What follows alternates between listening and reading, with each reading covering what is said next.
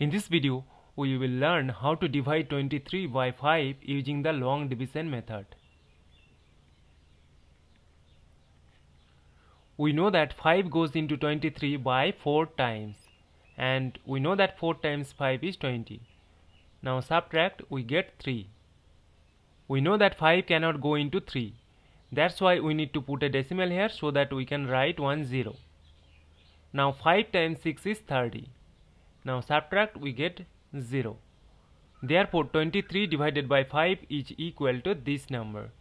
This means 23 over 5 is equal to 4.6 and this is our final answer. Thank you for watching. Please like, share and comment on the video. Also do subscribe the channel.